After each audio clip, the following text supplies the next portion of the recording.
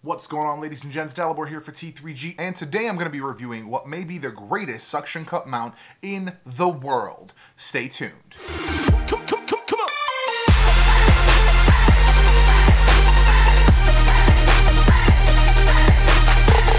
So what we're going to be talking about today is the Tackform Ultra Grip Magneto phone mount. And of course I want to thank Nick and Dave over at Design Products for providing the mount for us so that we could review it.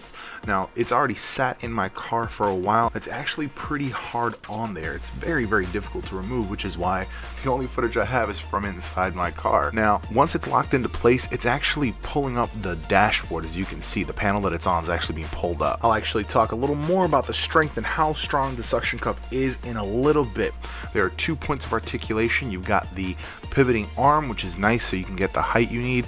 And then in this case, there is the ball joint adapter for the magnetic mount. Now they do offer a standard tension style holder for it and that's actually sold as a separate set online on their website and on Amazon and of course I'll have that link down below but the magnetic was nice for me because I really liked it. I like the idea of having a real quick attachment. The nice thing is it comes with the rectangular and circular plate when you buy it so you actually get a couple options. It does work through cases but I actually went ahead and attached it to the back of my phone and as you can see it works really well. Like I got to yank on it to pull it off.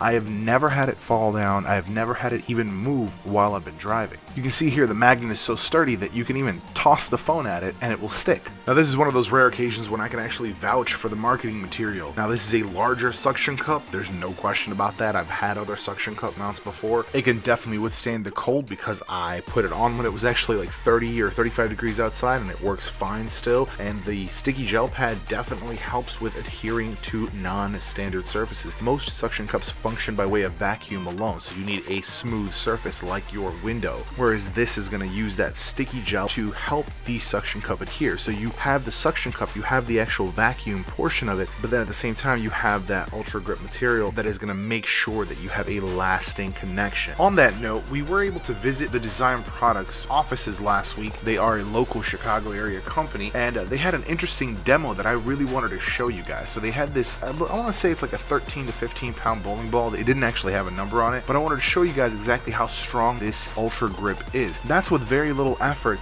and this is what happens if you just go all out and try to just shake it off. It doesn't let go. Alright, that's that folks. I think this is the absolute best suction cup style mount, best car mount even that I've ever seen just in general.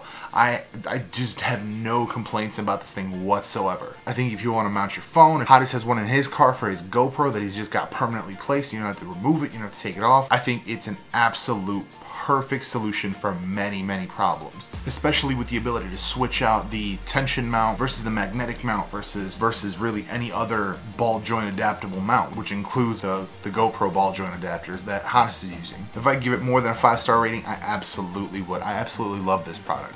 Uh, now, like I said earlier, it was a it was a free product that was provided to us, but it's not a paid advertisement. I'm not being paid to say any of this stuff. I genuinely love this thing. If you go back and watch the vlog when they first gave it to me, I geeked so hard about it. I think if you're trying to find a way to mount your phone or pretty much anything in your car, this is gonna be the way to do it. If you guys have any questions on the Ultra Grip, make sure you drop them down below. We've got a direct line to the company that makes it, so we'll definitely be able to answer any questions you guys have. If you like this video, make sure you give it a thumbs up. If you hate my face, give it a thumbs down. If you appreciate our content, make sure you subscribe. Mondays we do tech videos. Wednesdays is a one minute Wednesday, which is usually a tech related kind of little mini rant. Fridays we have gameplay videos, and Thursday, Friday, Saturday, like throughout the weekend, we've got some game streams usually. Thanks again for watching, and I will see you guys on Wednesday.